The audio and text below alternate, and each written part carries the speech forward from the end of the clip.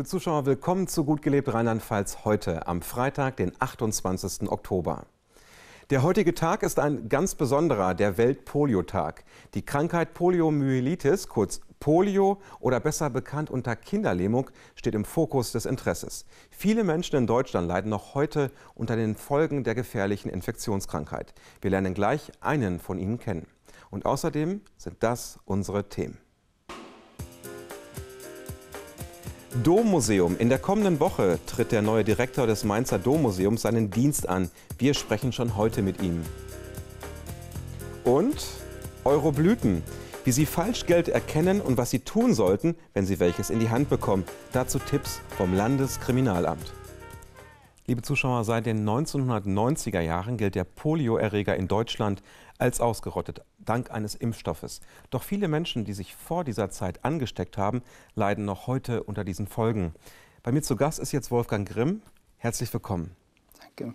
Herr Grimm, Sie selber sind betroffen. Wie hat sich damals die Krankheit bei Ihnen bemerkbar gemacht? Ja, die, bei mir ist das so entstanden, ich war 17 Jahre alt im Sommer 1961 und plötzlich hatte ich an einem Nachmittag Schmerzen im Knick und hatte so leichte Versteifungen. Das wurde immer schwieriger, immer schlimmer und dann haben meine Eltern den Arzt geholt und äh, der Arzt hat an dem Abend noch mich untersucht, dabei auch Reflexe an den Beinen un äh, untersucht und da sagte er, wie er rausging, der Junge hat Kinderlähmung. Mhm. Und äh, daraufhin bin ich sofort in die Intensivstation der Uniklinik Mainz gekommen und wurde da äh, einige Monate, einige Wochen, vielmehr Monate waren es nicht, behandelt. Aber erst nach einer Phase von ungefähr drei Wochen, in der die, die Entzündung im Körper war, in der man nichts tun konnte. Ich war dann gelähmt mit den beiden Beinen, der rechte Arm, der Bauch und es ging so weit, dass man befürchtete, die eiserne Lunge müsste aktiviert werden. Aber das kam zum Glück nicht zustande. Mhm. Als diese drei Wochen um waren äh, und die Entzündung zurückgegangen ist, hatten Sie dann wieder, äh, konnten Sie sich dann wieder bewegen oder? Nein, ich konnte mich nicht bewegen. Die Beine waren vollkommen tot, wenn man so will. Die mhm. konnte ich anziehen und fallen lassen, als wenn sie nicht zu mir gehörten. Aber dann wurde was meine Person betraf, etwas unternommen. Ich war damals Privatpatient. Mein Vater hat alles dran gesetzt und da wurde ich mit einem Mittel gespritzt, was aus Amerika kam. Und mhm. äh, es war so, dass ich nach ungefähr ein oder anderthalb Monaten doch wieder versucht habe, mich zu bewegen. Und es ging dann langsam, aber sicher aufwärts. Wie lange hat es dann gedauert, bis Sie sich einigermaßen wieder normal bewegen konnten? Weil wenn ich Sie jetzt sehe, auf mich machen Sie einen Eindruck, als als wäre nichts. Als wäre nichts, ja. Ja, also ich bin da verhältnismäßig schnell wieder aufgestanden. Das heißt, ich bin ähm, im August wieder langsam gelaufen. Ich konnte mich wieder bewegen. Ich bin also wirklich wieder auf die Beine gekommen. Und äh, ein typisches Beispiel war, äh, Ende September habe ich sogar bei einem Kirmesbesuch den ersten Tanz wieder gewagt. Also das heißt, bei mir hat sich diese Regeneration äh, der Muskeln oder der noch vorhandenen Muskeln mhm. sehr schnell wieder äh, gefestigt. Das heißt, äh, ich war nachher so weit wiederhergestellt, dass ich normal gehen konnte. Man hat es kaum gemerkt, außerdem, dass man gesehen hat, dass das Bein dünn war, das eine Bein und so. Also kleine Schönheitsfehler. Aber ansonsten war ich wirklich fast hergestellt, konnte nicht mehr springen. Das ist die einzige Einschränkung, die ich als junger Mensch hatte. Jetzt ist es ja schon ein paar Jahre her, dass Sie 17 waren. Ja. Was für Beeinträchtigungen haben Sie denn heute? Haben Sie ja. noch welche? Ja, also ich hatte das Glück, dass ich ähm, meinen ursprünglichen Berufswunsch äh, nicht äh, machen musste. Ich komme von einem großen Bauernhof, mhm. sondern ich bin dann in das Bankwesen, an die Sparkasse gekommen und habe da meine Karriere gemacht und äh, habe eigentlich durch diesen Beruf natürlich keine körperlichen Anstrengungen gehabt und habe das wunderbar geschafft. Nur vor ungefähr 15 Jahren merkte ich eine plötzliche Erschöpfung in meinem Körper die sich im, Geist, also ich mittags wurde ich plötzlich im Büro manchmal hatte so Aussetzer. Und da wurde festgestellt durch die Unterstützung einer Selbsthilfegruppe hier in Mainz, mhm. durch einen Neurologen, dass ich das sogenannte Postpolio-Syndrom habe. Das ist eine Spätfolge der Kinderlähmung. Ein, was heute sehr viele Patienten haben, kommt meistens nach drei, vier Jahrzehnten der Erkrankung. Und das ist das, was mir heute zu schaffen macht. Mein Laufen ist beschränkt, aber ansonsten, wie gesagt, die Erschöpfung, okay. Aber das ist alles und erträglich, aber es schreitet fort. Das heißt, die Muskeln werden immer schwächer. Also man kann durchaus sagen, die Folgen dieser Krankheit haben ihren Lebensweg in eine völlig andere Richtung gelenkt. Ja, voll, ja wenn Sie äh, der Ursprung als Bauer und dann plötzlich äh, als Sparkassenmann. Ja. Äh, hat mir, also, das war auch eine Empfehlung des Professors, dass er meinem Vater das geraten hat. Man möge den Jungen nicht dazu zwingen. Ich hätte es können sicherlich tun. Mhm. Aber nach den Erkenntnissen von heute hätte mich das sicherlich körperlich schon viel früher in diese Lage versetzt, dass ich nicht mehr leistungsfähig wäre. Sie haben irgendwann eine Selbsthilfegruppe gegründet. Mit welchem Ziel? Ja, wir haben uns vor äh, 2005 in Bad Kreuznach zu einer Selbsthilfegruppe gefunden, 25 Betroffene aus dem rein hessischen Bereich, mhm. weil wir uns gegenseitig helfen wollen. Das heißt, unterstützen wollen, die Probleme erörtern. Äh, das fängt ja damit an, welchen Arzt kann ich besuchen. Es gibt ja wenige Ärzte, die sich noch mit Polio beschäftigen. Und solche Dinge werden da besprochen, Vorträge. Man versucht, sich gegenseitig zu helfen mit Hinweisen und so weiter. Also so eine Selbsthilfegruppe ist sehr wichtig äh, und gibt einem auch eine gewisse Sicherheit. Mhm. Wie können denn Betroffene Kontakt zu Ihnen oder zu Ihrer Selbsthilfegruppe aufnehmen?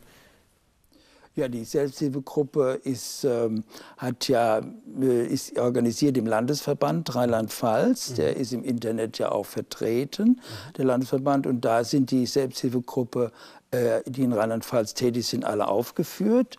Mhm. Äh, der Sprecher unserer Gruppe ist ein Herr Gilles aus Budenheim hier in mhm. Mainz. Und äh, auch meine Person, ich bin also auch aktiv im Verband da tätig. Mich kann man ansprechen. Wir sind jetzt so ungefähr 40 Personen, die sich da alle Vierteljahr treffen mhm. und diese Probleme erörtern durch Vorträge und so weiter, was, was eigentlich alles so ansteht. Jeder hat seine Probleme und so weiter. Sie sagen gerade durch Vorträge. Welche Öffentlichkeitsarbeit betreiben Sie denn? Also die Öffentlichkeitsarbeit wird weitgehend durch den Landesverband getan. Es war jetzt erst vor wenigen Wochen ein großer Poliotag in äh, Koblenz. Übrigens ist Koblenz eine Station, die einzige Station der Bundesrepublik für Polio-Patienten bei Dr. Rütz im Brüder, Brüderkrankenhaus. Mhm. Da kann man sich hinwenden. Wird man, und äh, ja, und diese, diese Veranstaltung ist bundesweit anerkannt mit sehr vielen Fachvorträgen und Hilfestellungen, auch durch die äh, äh, Hilfsmöglichkeiten wie Rollstühle, mhm. Gehhilfen und so weiter. Denn viele, die Masse der Patienten sind ja auf Hilfen angewiesen. Bei mir reicht es Gott sei Dank ein Stock. Wolfgang Grimm, herzlichen Dank, dass Sie heute unser Gast waren und vielen Dank, dass Sie uns so ausführlich alles geschildert haben. Liebe Zuschauer, das Dommuseum in Mainz beherbergt eine der bedeutendsten Kunstsammlungen in Rheinland-Pfalz. Ein Museum, das neue Wege gehen will, mit einem neuen Direktor. Seit Jahrhunderten steht der Mainzer Dom an Ort und Stelle. Eine wechselhafte Geschichte zeichnet das Bauwerk aus. Angegliedert ist auch das Dom- und Diözesanmuseum. Es beherbergt eine Fülle von bedeutenden Exponaten. Geprägt hat das Museum in den vergangenen 23 Jahren Dr. Hans-Jürgen Kotzur und der geht nun in den wohlverdienten Ruhestand. Sein Nachfolger wird Dr. Winfried Wilhelmi, ein neuer Mann an einem alten Ort, an dem aber noch viel bewegt werden muss. Denn pro Jahr finden nur etwa 6000 Besucher den Weg ins Museum. Sein Credo ist deshalb denkbar einfach, die Kunst muss zu den Menschen kommen.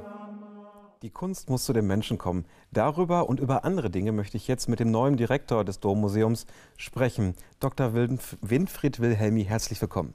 Guten Tag. Was wollen Sie denn anders machen als Ihr Vorgänger? Am 1. November treten Sie offiziell das neue Amt ein und Sie sagen, die Kunst muss zu den Menschen kommen. Was machen Sie anders?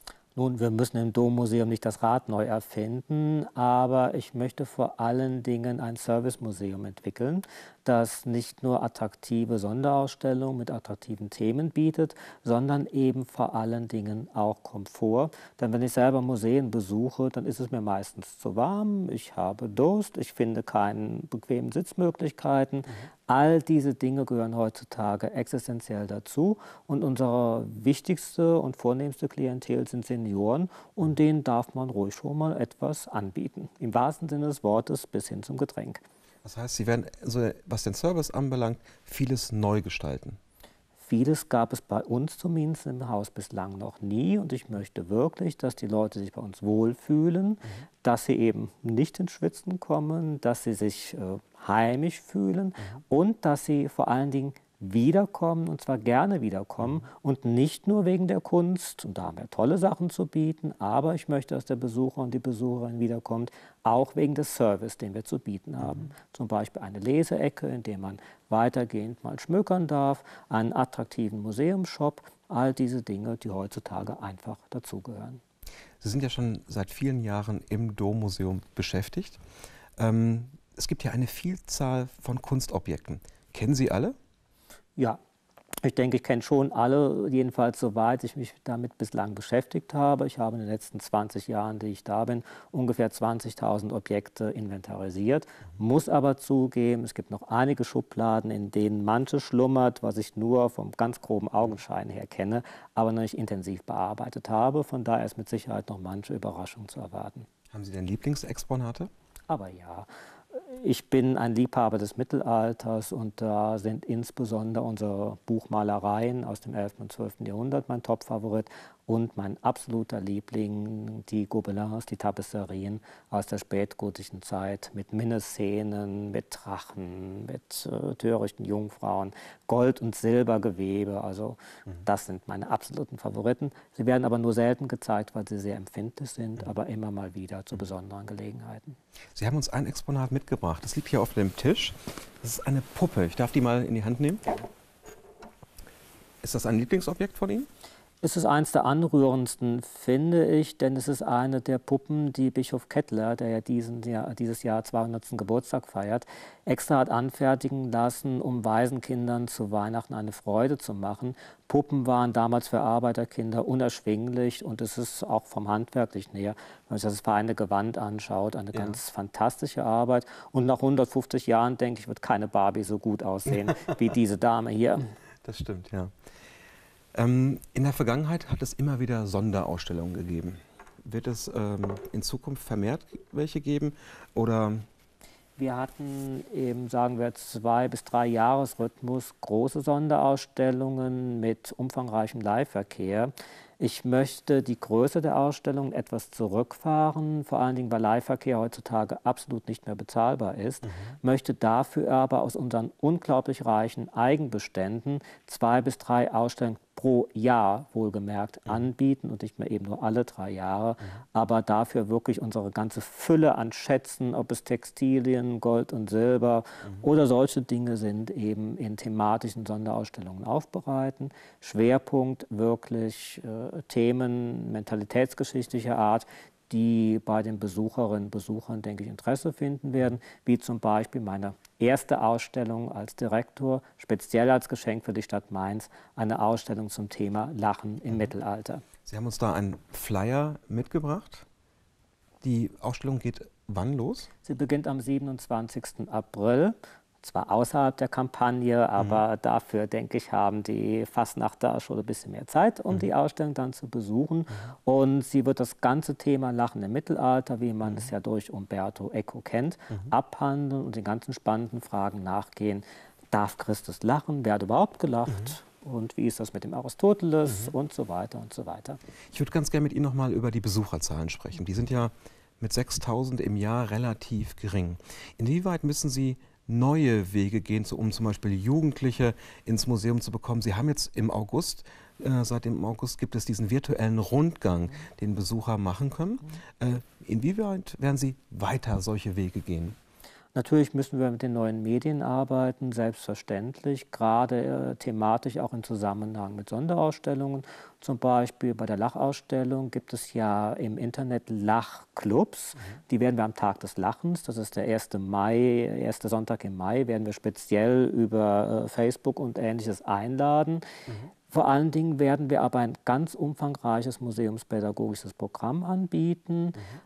Das Bistum hat freundlicherweise die halbe Stelle einer Museumspädagogin genehmigt mhm. und äh, deswegen wird es ganz gezielt Führungen für Senioren, Kinder und Ähnliches geben. Und wenn Sie einleitend gesagt haben, die Kunst muss zu den Leuten kommen. Das war Ihr Zitat. Genau das wird passieren, dass eben Senioren gemütlich bei Kunst und Kreppel in unserer barocken Kapitelstube zusammensitzen. Ja. Ich bringe drei bis vier Exponate zum Besucher hin. Das kann man auch mal anfassen und dann wird das umfassend erklärt. Mhm. Solche Serviceführungen zum mhm. Beispiel möchte ich anbieten und ich denke, auch durch diesen Komfortrahmen wird da schon Schulfrucht sein. Und sowas wird teilweise dann auch jeden Sonntag angeboten. Mhm. Jetzt sind natürlich diese ganzen Ziele, die Sie haben, nicht von jetzt auf gleich umsetzbar. Was haben Sie sich dann für ein Ziel gesetzt, was die Besucherzahlen anbelangt? Ich gebe mir drei Jahre Zeit und möchte am Ende dessen im prozentualen Steigerung die Besucherzahlen jeweils verdoppelt haben. Mhm. Wir haben im Moment 6.000 bis 8.000 Besucher ohne Sonderausstellung. Ich möchte diese Zahl bis 2013 auf das Doppelte gesteigert haben und 2014 als Grundzahl über 20.000 Besucher erreichen. Mhm. Durch Sonderausstellungen entsprechend mehr. Der neue Direktor des Dommuseums, Dr. Winfried Wilhelmi. Herzlichen Dank, dass Sie heute zu Gast waren und viel Erfolg für die Zukunft. Ich habe zu danken. Liebe Zuschauer, die Sonderausstellung im Dom ist erst ab April im nächsten Jahr zu sehen. Was jetzt zurzeit alles aktuell zu sehen ist an Veranstaltungen, hat meine Kollegin Sarah Sauter für Sie zusammengefasst.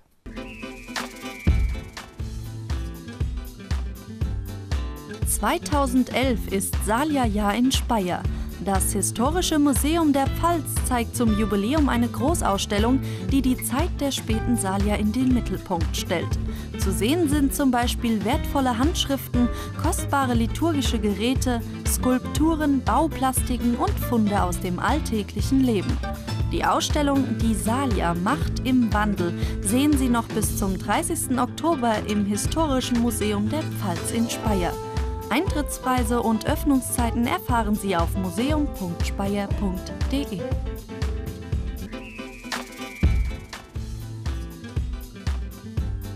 Im Museum Pfalzgalerie Kaiserslautern geht es kunterbunt zu. In der Skulpturenausstellung mit Werken aus der Sammlung des Hauses steht die Farbe im Mittelpunkt. Farben beeinflussen den Betrachter bewusst und unterbewusst, lösen Emotionen und Assoziationen aus. Die unterschiedlichen Eigenschaften und Wirkungsweisen von Farbe nutzen auch Bildhauer für ihre Werke. Die hervorragenden farbigen Arbeiten in der Pfalzgalerie laden ein, sich mit der Wirkung von Farbe, Form und Raum zu beschäftigen. Es gibt nicht nur eine Lieblingsfarbe, bunt ist die neue Lieblingsfarbe. Bildhauer treiben's bunt, noch bis zum 30. Oktober im Museum Pfalzgalerie Kaiserslautern. Weitere Informationen auf pfalzgalerie.de.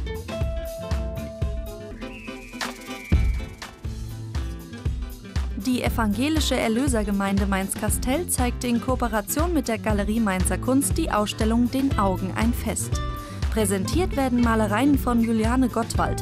Das Besondere an dieser Ausstellung, die Malereien hängen in der Kirche der Erlösergemeinde und werden dort präsentiert. Juliane Gottwald malt großflächige, farbenfrohe Früchte und Blumen, wie zum Beispiel Astern, Tulpen und Zwetschgen oder sogar einen Kreppel. Den Augen ein Fest, noch bis zum 6. November in der evangelischen Erlösergemeinde Mainz-Kastell. Nähere Infos unter erlösergemeinde-kastell.de.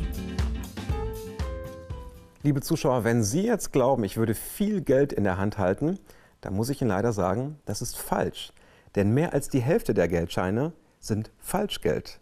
Darüber möchte ich jetzt sprechen mit Frank Hasenkleber vom Landeskriminalamt. Herzlich willkommen. Hallo.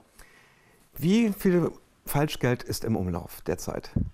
Also derzeit ganz aktuell kann ich Ihnen sagen, dass wir bundesweit im dritten Quartal 11.000 Falschnoten im Umlauf gehabt haben. Um Ihnen da mal einen Vergleich zu machen, wie die Größenordnung ist, das sind circa fünf Falschnoten auf 10.000 Einwohner.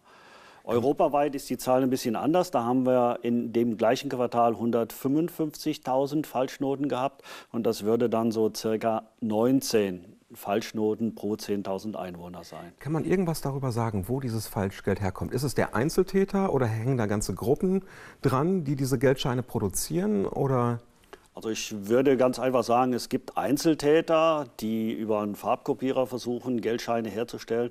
Aber das überwiegende Material, was kommt an Falschnoten, wird von professionell Gruppierungen, also kriminellen Gruppierungen hergestellt und produziert. Ja. Momentan könnte man sagen, dass ein Teil dieser Noten, die ich Ihnen auch mitgebracht habe, vermutlich aus Italien kommen. Ja. Jetzt galt doch der Euro bei der Einführung als hundertprozentig fälschungssicher. Wie kann es denn jetzt trotzdem sein, dass so viel Geld oder sagen wir mal, wollen wir es nicht werten, aber dass immer wieder Falschgeld im Umlauf ist? Ja, das müssen Sie ganz einfach so sehen. Fälschungssicher heißt ja, dass er gefälscht werden kann, man ihn aber immer noch so ohne technische Mittel erkennen kann, was eine Fälschung und keine ist. Ja. Äh, die Fälschungsmerkmale sind ähnlich der D-Mark und äh, es gibt eine Umfrage der Bundesbank und die meisten Bürger gucken nach dem Sicherheitsfahren, nach dem Hologramm, nach dem Wasserzeichen. Und das versucht natürlich der Fälscher dementsprechend gut nachzumachen. Mhm. Ich für mich gucke nach ganz anderen Merkmalen und habe mir da so einen kleinen Wortschatz zusammengemacht, der heißt Physeki, fühlen, sehen, kippen. Ja. Und da kann man sehr schnell erkennen, ob eine Note echt oder falsch ist. Sie haben uns jetzt zum Beispiel noch zwei 50er mitgebracht. Davon ist einer echt und einer falsch. Genau. Äh, vielleicht können wir anhand der beiden Scheine mal zeigen, worauf wir achten müssen. Ich gebe Ihnen die mal. Mhm, danke. Und äh, bei den Noten, die ich kontrolliere, grundsätzlich die Rückseite kontrollieren, weil auf der Rückseite haben Sie bei den großen Noten die Möglichkeit, da wo Sie Ihren Zeigefinger haben, ja. an der großen Wertzahl, einen Farbenumschlag zu sehen. Ja. Der ist von lila über goldbraun äh, bis zum Grünen hin. Und das mhm. haben alle größeren Noten, also 50, 100, 200 und 500. Mhm. Es gibt auch keine Fälschung, die diesen Farbenumschlag hat. Okay, also sehr sicher, wenn ich das erkenne. Jetzt kann ich bei dem oberen erkennen, da ist die Farbe, bleibt die stehen und der untere wechselt. Der wechselt, genau. genau. Und selbst in diesem Licht jetzt, was auf hier fällt, sehe ich das Wasserzeichen ganz deutlich. Das ist das zweite Merkmal, wo ich gucke. Mhm. Ein Wasserzeichen ist das Papier sehr dünn, das ist über der 50. Ja. Das sehe ich von hier aus. Und ein Fälscher kann kein Wasserzeichen machen, weil das schon bei der Fertigung des Papieres eingebracht wird. Das ja. ist ganz dünn, das Papier. Und so, äh, Fälscher hat nur ein gedrucktes Wasserzeichen drauf. Jetzt gibt es auf unterschiedlichen Scheine unterschiedliche Merkmale. Sie haben uns auch zwei 20-Euro-Scheine genau. mitgebracht. Was ist da anders? Die kleinen Scheine, 5, 10 und 20, die haben nicht diesen, Umschlag, Umf, also diesen Farbenumschlag in der Wertzahl, sondern die haben in der Mitte einen goldenen Streifen. Ich sage immer so die goldenen 20er. Ja. Und wenn Sie den kippen, geht der silbern, goldig und geht ins Negative. Okay, die oberen hat es ganz leicht eine Fälschung drin, aber das können die momentan auch nicht herstellen. Okay. Was das? passiert eigentlich, wenn mir so ein Geldschein, sage ich jetzt einfach mal, untergejubelt wird? Was mache ich dann, wenn ich das zu Hause feststelle? Wenn Sie das zu Hause feststellen, äh, haben Sie nur die eine Chance, diesen Geldschein an die Polizei zu geben oder an eine Bank abzugeben, der wird eingezogen. Wenn Sie jetzt denken, aha, der ist falsch, aber ich äh, gebe Ihnen, bezahle damit meine Brötchen den nächsten Morgen, dann bringen Sie Falschgeld in Verkehr. Ja. Das heißt, Sie begehen eine Straftat. Was ist, wenn ich das unwissentlich tue? Wenn Sie das unwissentlich tun und äh, es stellt jemand fest, äh, er hat von Ihnen Falschgeld bekommen, könnte es natürlich sein, dass Sie auch in Kontakt zur Polizei kommen, weil wir müssen dem danach gehen, mit allen Möglichkeiten, gegebenenfalls auch mit einer Such Durchsuchung drin. Strafrechtlich werden Sie nicht gemacht. Okay. Aber das Wichtige dabei ist, und das sollte man sagen, Sie bekommen keinen Ersatz für dieses Geld. Darum also ist heißt, Kontrolle im Vorfeld besser. Also ich selber muss jeden Schein, den ich entgegennehme, auch in einem stressigen Alltag, muss ich immer kontrollieren, also alles, was ich sonst in meinem Portemonnaie habe, kann falsch falsch sein und kann nichts wert sein.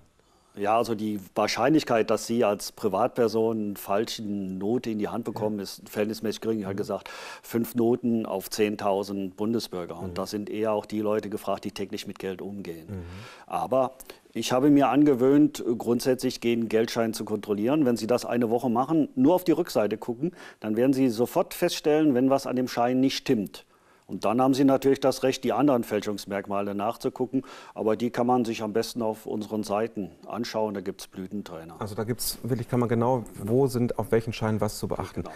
Aber hat, jeder hat eigentlich die Pflicht, das zu tun, wenn er einen Geldschein entgegennimmt, oder? Also ich würde es schon sagen, allein aus eigenen Schutzgründen. Und ganz besonders würde ich es tun, wenn ich irgendwelche großen Bargeldgeschäfte abgewickelt habe mit Leuten, die ich nicht kenne. Mhm. Autoverkauf, Möbelverkauf, wo mhm. Bargeld geht. Mhm. Ich würde auch äh, sehr achten drauf, wenn ich Geld äh, bei großen Volksfesten zurückbekomme. Mhm. Äh, jetzt die Weihnachtsmärkte, die angehen, weil ich als Falschgeldbesitzer würde natürlich diese Chance, große Menschenmengen, okay. äh, kleine Dinge kaufen für einen verhältnismäßig großen Schein in Glühwein, für einen 50er oder mhm. sowas, äh, nutzen, um Falschgeld in Umlauf zu bringen. Also da würde ich schon gucken. Jetzt kennt man ja auch, wenn man mit Bargeld bezahlt, in meinem, sag ich mal, im Supermarkt, dass diese Scheine immer unter einem speziellen Licht kontrolliert wird. Andere benutzen irgendeinen Stift äh, und streichen den über dem Schein. Wie sicher ist das denn? Also für mich ist das unsicher, weil ähm, unter UV-Licht sehen Sie die UV-Merkmale. Ja. Ich habe Ihnen einen 200er mitgebracht. Mhm. Der hat genau die, fast die gleichen UV-Lichtmerkmale, die ein Echtschein hat. Mhm. Äh, ich müsste auch genau gucken, welche UV-Lichtmerke hat das? Und wenn man die Verkäuferin fragt, wonach gucken Sie, sagen sie, dass Fusseln drin sind, dass ja. die Sterne aufleuchten. Aber das hat eine Fälschung auch. Okay. Und das mit dem Stift, der reagiert auf Stärke im Papier drin. Und der Fälscher hat auch Möglichkeiten, ein wenig stärker auf den Geldschein aufzubringen, sodass der Stift auch darauf reagiert. Ich finde das ja nicht gerade als sicheres Merkmal. Man muss das genau können. Mhm. Für mich ist es einfach wirklich fühlen, sehen, kippen. Mhm. Weil ich sehe schon, wenn Sie Geldschein jetzt in die Hand nehmen würden, würde ich und die Rückseite mir zuwenden, würde ich schon feststellen, ob der falsch oder echt ist. Okay. Das habe ich jetzt gesehen, dass unten die Wertzahl nicht kippt. Das stimmt.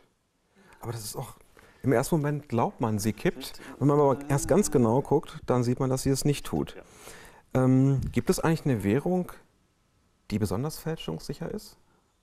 Ist das unser Euro? Ich würde fast sagen, das ist der Euro die meistgefälschte Währung weltweit ist der US-Dollar. Okay. Was ist denn, wenn zum Beispiel jetzt irgendwann Fälscher alle Merkmale doch reproduzieren oder produzieren können? Ich glaube, da hat die äh, Europäische Zentralbank schon einen neuen Notensatz in der Hand, genauso wie die D-Mark, ja. wo eine Variante A auf den Markt gekommen ist, wie man festgestellt haben, dass zu viele Sicherheitsmerkmale gefälscht werden, also nachgemacht werden. Und äh, da denke ich auch, dass dann sehr schnell auch eine Variante A vom Euro in Umlauf kommt, die mhm. weiterhin weitere Sicherheitsmerkmale hat. Also das heißt, die Scheine, die Geldscheine können sich immer weiterentwickeln, genau. äh, was die Sicherheitsmerkmale anbelangt. Ja, auf jeden Fall. Herr Frank Hasenklever, herzlichen Dank für die sehr interessanten Informationen. Äh, danke, dass Sie unser Gast heute waren. Liebe Zuschauer, wir sind leider schon wieder am Ende unserer Sendung angekommen. Ich möchte Sie aber noch auf unsere Internetseite www.gutenberg.tv hinweisen. Dort können Sie alles Wissenswerte über unseren Sender, über unsere Sendung erfahren. Und auch diese Sendung können Sie in der Mediathek noch einmal ansehen. Das Team von Gutenberg TV sagt vielen Dank fürs Zusehen, ein schönes Wochenende und bis bald.